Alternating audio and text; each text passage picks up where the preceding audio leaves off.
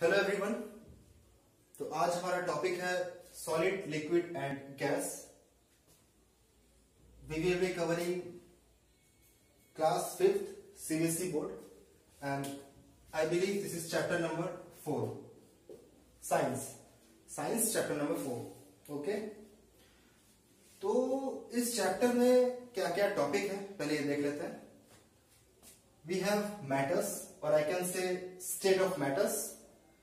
Then we have evaporation, condensation, melting, solidification, miscible and immiscible liquids. Then we have solution and its types also. After that we have physical and chemical change. This is very important. And uh, then we have expansion and contraction.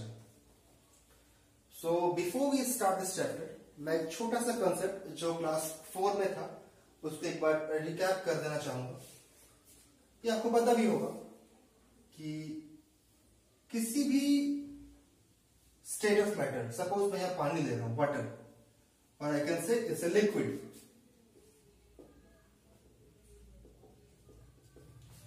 so we know कि इसमें particles हैं।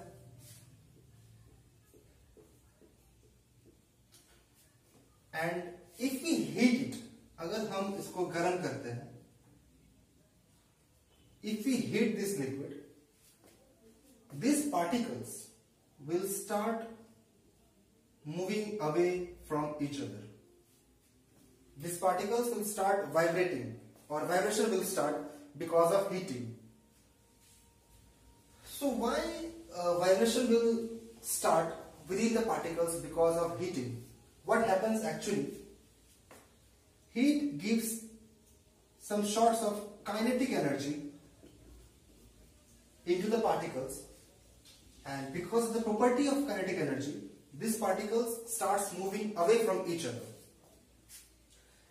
And in continuity they start they will start leaving the surface which is further known as water vapor. So when we apply heat to water, the particles gains the heat energy, which is further converted to kinetic energy, and because of that, the particles start leaving the surface and forms water vapor. This is conversion of liquid into gas, or example of liquid into gas.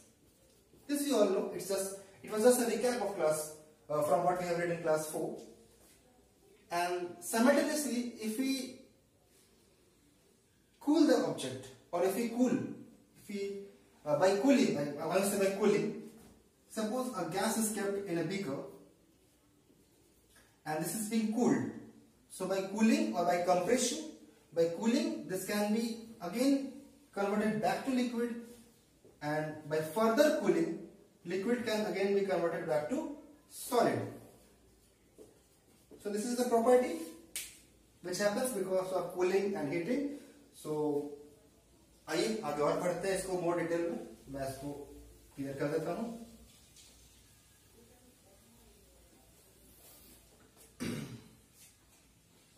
So matter पहले आपको यह समझना पड़ेगा कि what is matter matter क्या है? So I can say anything which you which you see in the universe और around you which has a mass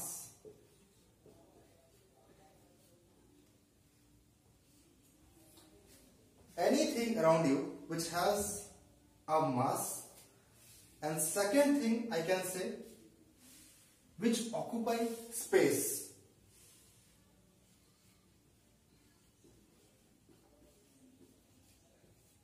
Or which needs some space. Okay. So to occupy space it must has a volume also. So we can say it must has a volume also. So anything which has a mass and occupies space is known as matter. So matter is further classified into three things. One is solid, liquid and gas. Now let's understand in detail the basic difference between solid, liquid and gas. Okay. I will write here solid liquid and gas. So what is the basic difference?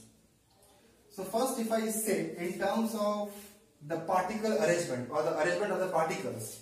So in case of solid, the particles are tightly attached or closely packed to each other.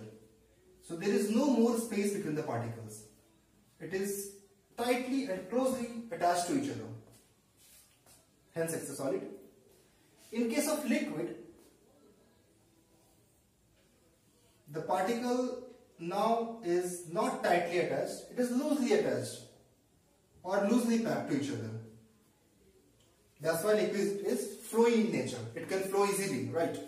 And same in case of gas. It can further flow more easily because the particles are more loosely attached to each other or even spatially distributed. Okay. So, the first thing you should understand about solid, liquid and gas is the particles are tightly packed to each other, loosely packed to each other and more loosely packed to each other or attached to each other. Now what happens because of this?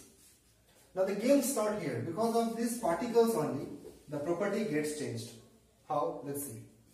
Since the particles are tightly attached to each other, that's why if we call, uh, if we compare this in terms of volume, then solid has a fixed volume because it has because the particles are tightly attached to each other. So it has a fixed volume. In case of liquid also, we can say it has a fixed volume. But now, in case of gas, since the particles are not closely packed to each other, it does not have a fixed volume. But remember one thing, we are talking about fixed volume. This fixed word is very important here. By mistake, some students says it has a volume, it has a volume, it does not have a volume. It is wrong. No matter can be without volume.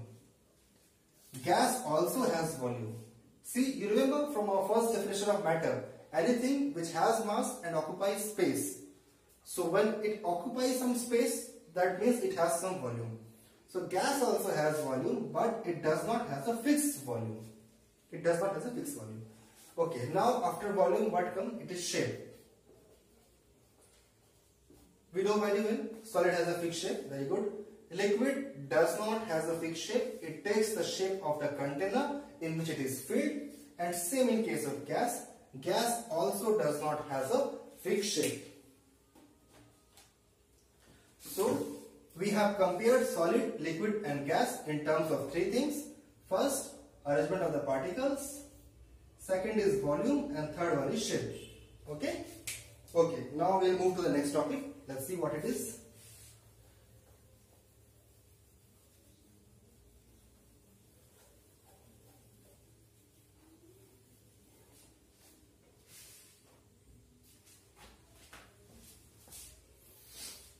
Okay guys, so next topic is evaporation and condensation. Evaporation and condensation. So what happens actually? It is a very basic thing. Uh, this was in class 4 also I remember. But again, evaporation is nothing. It is just the conversion of liquid into gaseous form. Any liquid when uh, changed to gas is known as evaporation but one important thing is that by heating when we apply heat or I can say by heating by heating the liquid when it changes to gas that process is known as evaporation. And in case of condensation it is it is completely opposite to the evaporation. When gas is being converted to liquid by cooling is known as condensation. So, we have an example of this from our day-to-day -day life also. Uh, when we boil water in a container, the vapors start coming out. That is a very good example of evaporation.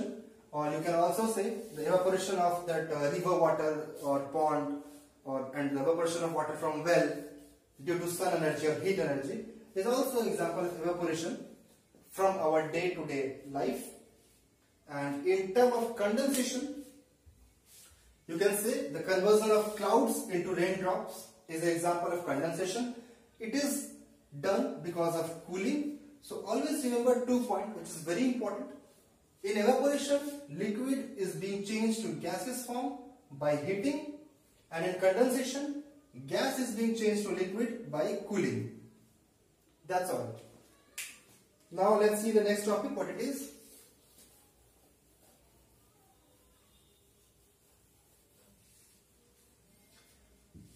So we have finished matter, we have finished evaporation, we have finished condensation. Now melting and solidification. It is very simple.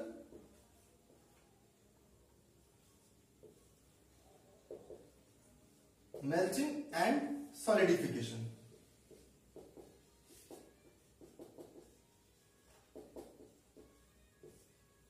Okay, let's see. With the word melt, you have to memorize melt means pighalna. We often say, like in the heat, we see the chocolate is melting or the ice cream is being melted. Then we say, right, pighal gaya. So we know melting is pighalna. So what? क्या पिघल सकता है क्या पानी पिघल सकता है नहीं solid so when solid is changed to liquid when solid is changed to liquid again the most important thing is by heating is known as melting. And same the opposite of melting is solidification when liquid is being changed to solid by cooling. Is known as solidification. So example from our day-to-day -day life will be here the water when freezed we found ice cubes so the formation of ice cube from normal water is example of solidification. And of course you can say the melting of ice to its original state of water is melting. Or you can also say melting of ice cream into its melted form or that uh, chocolate ice creams or chocolates also get melted in, because of heat is example of melting. Okay guys? Okay, let's see what is the next topic.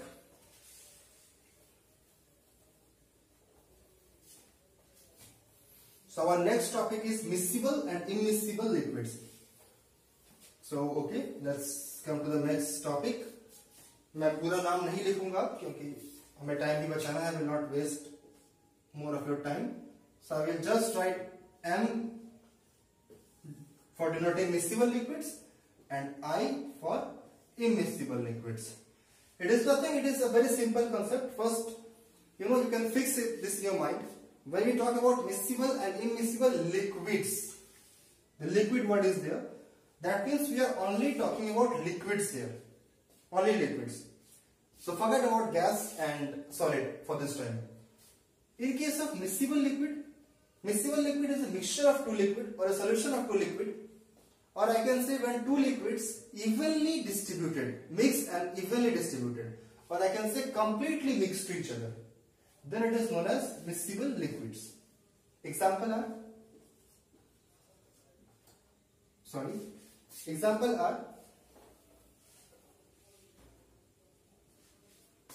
you can write uh, huh, miscible liquids when two liquids completely mixed to each other. Example are lime juice plus water. You can see it will completely mix to each other Another examples can be ink plus water or we can also say milk plus water.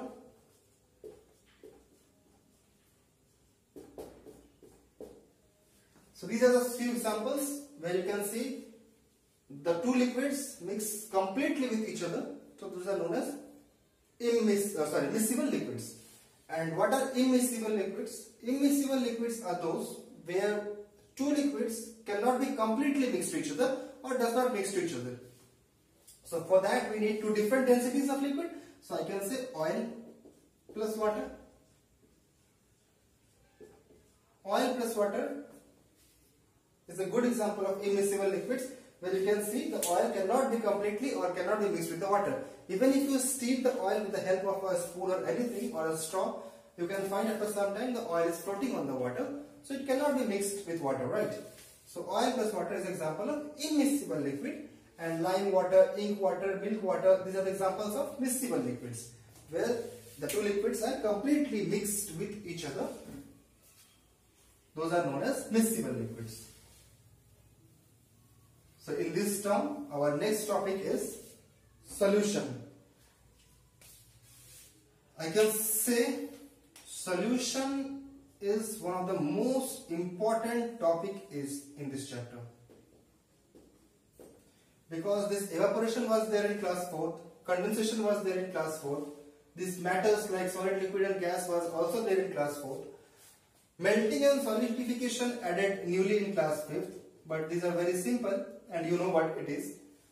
Solution was also there in class 4 but now in class 5th we have its types and it is in more little bit more detail. So now let's understand what is solution. Very important, focus completely. First of all, you need to understand what solution is. So solution is a mixture of two things. I can say A plus B. So the first thing is it should be a mixture of two things.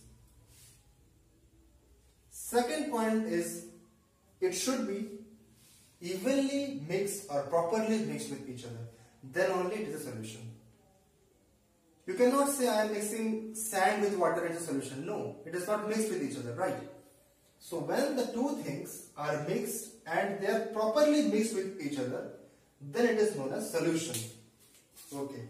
Now what is the next thing in solution is? Next point in solution is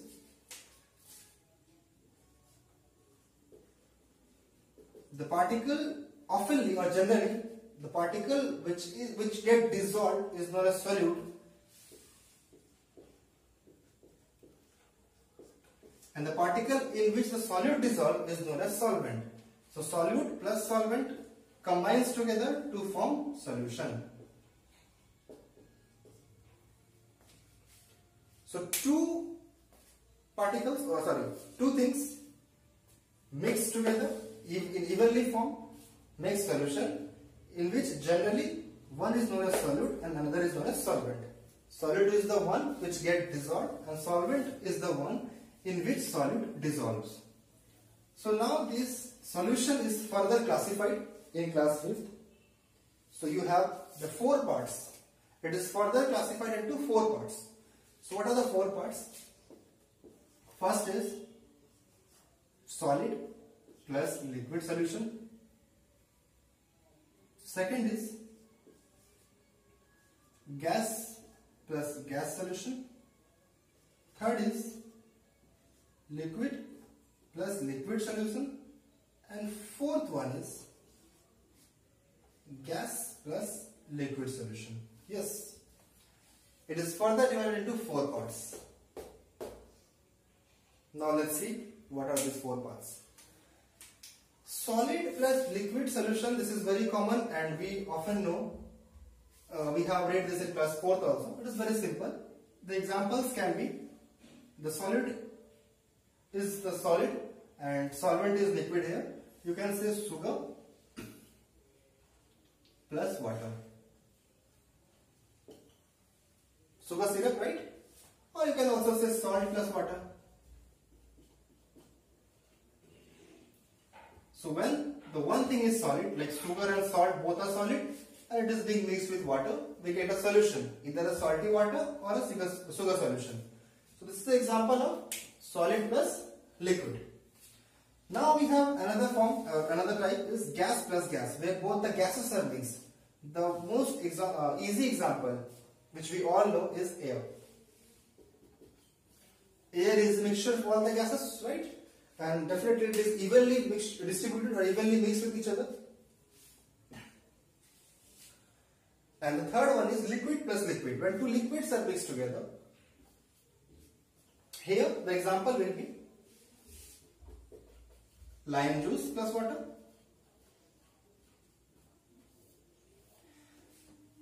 from this point, can we say, can we say all immiscible liquids, listen carefully, can we say all immiscible liquids are example of liquid plus liquid solution? Can we say this? Just think of this ones. Immiscible liquids are the liquids in which two liquids are evenly mixed or completely mixed with each other. And in case of solution, it is the same definition. And in case of this type, where liquid is mixed with liquid, so we can definitely say all the examples of miscible liquids will be same example, will be same as for a solution of liquid plus liquid type. Okay?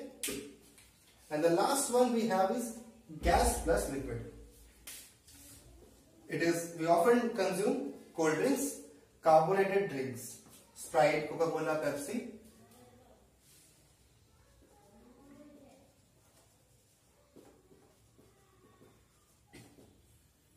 So carbonated drinks are the example of gas plus liquid.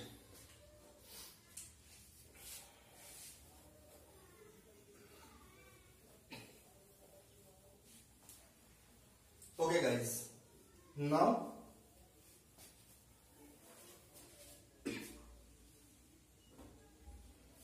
coming to the third last topic of our chapter that is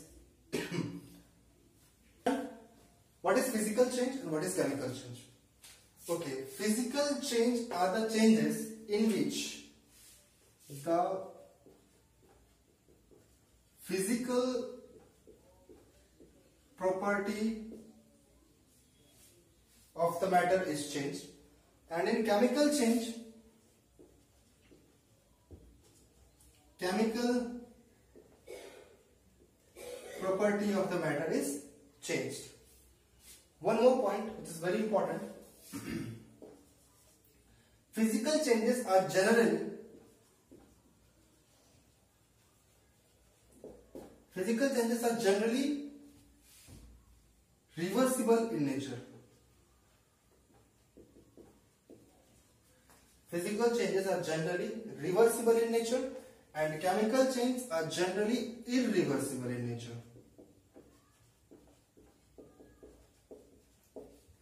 Clear? And the third and most important is in physical change, no new product is formed and in case of chemical change a new product is formed.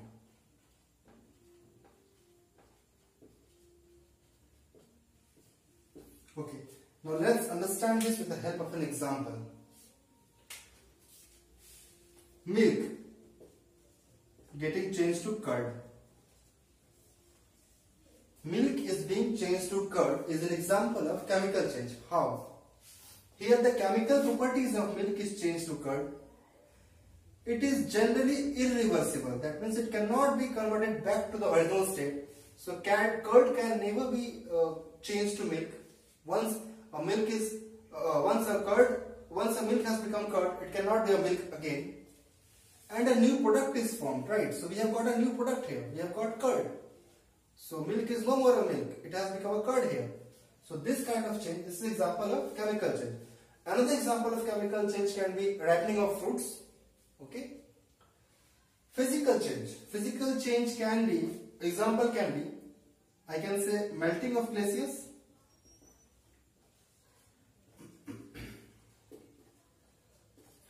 melting of glaciers is a very good example of physical change. How? The physical property changed. Initially it was solid and after melting it becomes liquid. Right? Generally reversible in nature. By cooling the liquid, we can again get the ice back and no new product is formed. We are not getting a new product, right? It is just the matter changed to other form. Solid is being changed to liquid, but the molecule is still water, right? H2O. It is it is still water and definitely reversible in change in nature. Liquid can be converted to gas and solid, anything. So this is physical and chemical change. I will repeat it one more time. one more time. Physical change are the changes in which physical properties of the object are changed and in chemical change the chemical properties are changed. In physical change, uh, physical changes are generally reversible in nature and chemical changes are generally irreversible in nature. In physical change, no new product is formed and in chemical change, a new product is formed. Okay guys? Now coming to the last topic of this chapter, expansion and contraction. I think we have already discussed in the starting of this video what is expansion and what is contraction. Expansion is to get expand. Okay? To have an increase in size and volume is known as expansion. So, expansion and contraction. This one. Last topic. How expansion happens? Expansion happens because of heating. And we know why. By heating, no, generally by heating, the particles gain the heat energy, which is further converted to kinetic energy, and because of that, vibration occurs between the particles and the particle expand. An example can be if you keep a rubber, a piece of rubber in sun or in some heat area, you will find the rubber has expanded. Its size might have increased. And if you take it back to the room temperature, it will again contract to its original position. So this is an example of contraction. So contraction is done by cooling and expansion is done by heating. Always remember this. C for contraction and C for cooling. So by this trick you can remember this that contraction is done by cooling and expansion is done by heating. So this was all about this chapter. We have read matter, evaporation, condensation, melting, solidification, miscible and immiscible liquids, solution and its types. Then we had physical and chemical changes. After that it was expansion and contraction. So I don't think anything is left in this chapter. So, जो भी बच्चे class fourth sorry class fifth में है CBSE board के, वो इस video को एक बार देख लेंगे तो आई थिंक उन्हें और कोई अलग से ट्यूशन की ज़रूरत नहीं पड़ेगी। और, कोई भी डाउट हो किसी भी टॉपिक के रिगार्डिंग या कोई एग्जांपल समझ में ना आया हो, या फिर कहीं भी कुछ डाउट लगा हो आपको तो आप मुझे कमेंट में पूछ सकते हैं। मैं कोशिश कर रहा हूँ कमेंट में ही एक्सप्लेन कर दूँ, और अगर ज़रूरत पड़ा तो मैं आपके लिए एक छोटा सा शॉर्ट वीडियो बना के दोबारा उस टॉपिक को समझा दूँगा। So thank you thank you very much